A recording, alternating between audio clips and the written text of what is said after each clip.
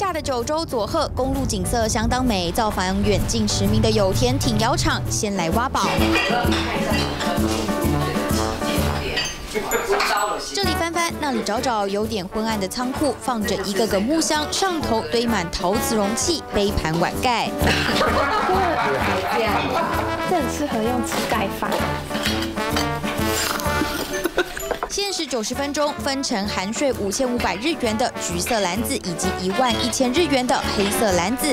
陶瓷器现区挑选，一万一可拿的更为细致，花色样式也多。但是挑完自己喜欢的容器，怎么放也是一门学问。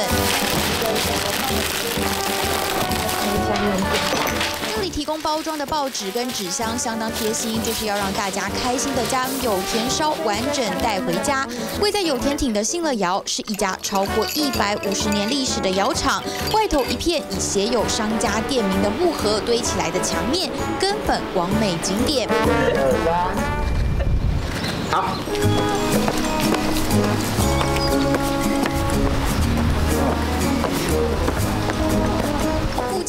的桃山神社是日本唯一一处陶瓷为主的神社，不止大鸟居、狮像跟水瓶灯座也都是陶瓷做的。这一次日本的唯一陶瓷鸟居，然后就是大家有看到这个裂痕，是因为之前台风的时候，然后它就是有稍微毁损，然后再把它重新建起来的。神社还有供奉财神，要保佑财运，得拿出自己的钱包，木锤敲三下。还行吗？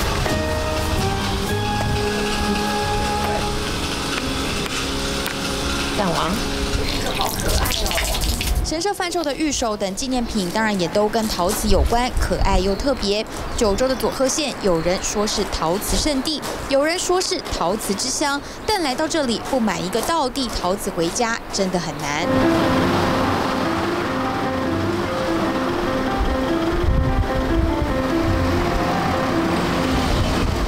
田町走过唐津市，一样有美美的陶瓷专卖店跟餐饮，让人以细致茶杯、酒杯休憩品尝。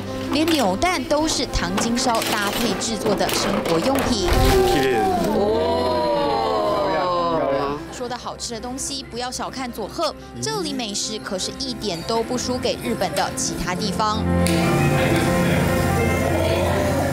本酒当锅底滚了之后，夹起一片满是美丽油花的佐贺牛下锅涮，让人口水直流。对，有点变色就行。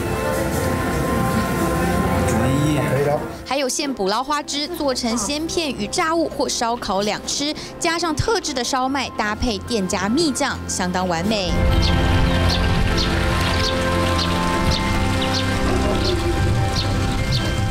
在宁静的私宅庭园，体验素面为基本食材的怀石料理，摆盘优雅，餐点诱人，光看就忍不住食指大动。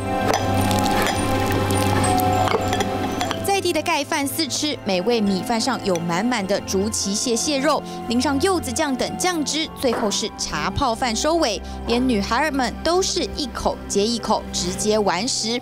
亮点是高脚杯装的蒸蛋。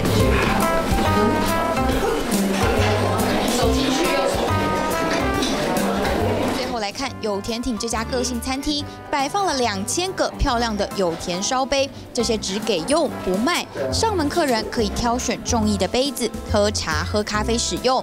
更美的则是放在卖店等待有缘人。好像就有地方特色。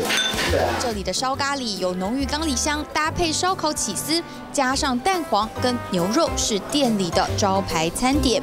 而彩蛋必须要说，马吉口感的豆腐真的不要错过。TVB 新闻徐启芳日本佐贺的采访报道。